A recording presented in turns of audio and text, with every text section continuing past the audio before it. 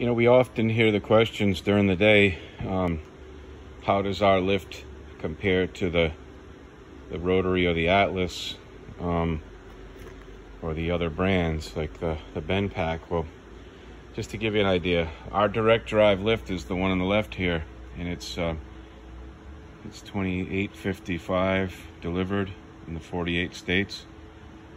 That's the yep one right here with the big yellow carriages and the numbering on the arms on the torsion tube. Okay, and uh, here is the um, Atlas uh, PV10. It's 39.95. So it's a little over a thousand dollars more. It's a thousand fifty dollars more. And uh, here's how you.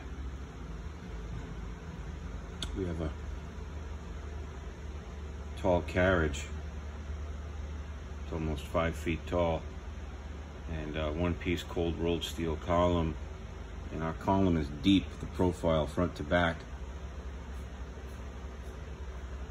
Just give you a feel for that.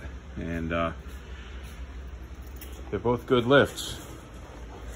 I'm not gonna tell you that this these little lifts aren't great. They're good.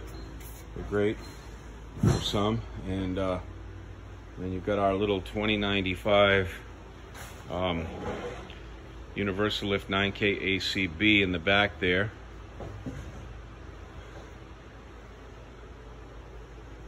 All right. That's the size-wise, that's the comparison. We make a rugged lift. Our lift for 2855 will handle anything that these $4,000 lifts will handle. You can buy in confidence.